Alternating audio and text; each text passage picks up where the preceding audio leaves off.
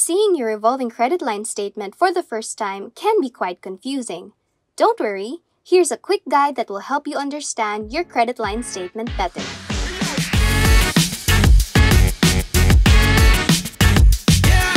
Let's say that you have been approved for a Revi credit line of 50,000 pesos. You then use this to pay for home repairs worth 12,000 pesos and use another 3,000 pesos to cover a small emergency. This means that you will still have 35,000 pesos left from your credit line that you can use as needed.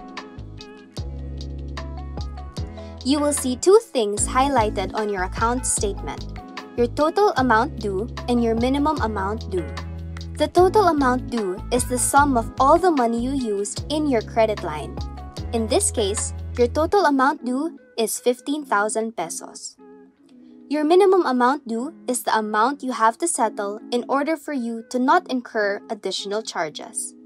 With Revi Credit, your minimum due is 15% of your total statement balance, or in this case, 2,250 pesos. There are three payment options you can choose from.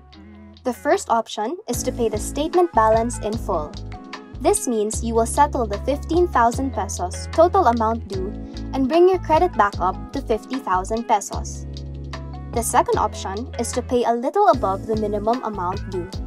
If you decide to pay 5,000 pesos out of your total amount due, your credit line will go back up to 40,000 pesos. In the meantime, the remaining 10,000 pesos from your total amount due shall accrue interest that will be reflected on your next bill. The last option is to pay the minimum amount due of 2,250 pesos. This will bring your credit line up to 37,250 pesos. The remaining 12,750 pesos from your total amount due will be subject to interest that shall reflect on your next billing statement. What if you don't pay at all? If you fail to pay the minimum amount due, your total outstanding balance of 15,000 pesos will accrue interest that will reflect in the next billing statement. On top of that, you will be charged with a late payment fee of 5% from your outstanding balance or 750 pesos. While it doesn't seem like a huge sum at first, neglecting to pay your monthly due can lead to higher charges and interest fees and can greatly affect your credit score.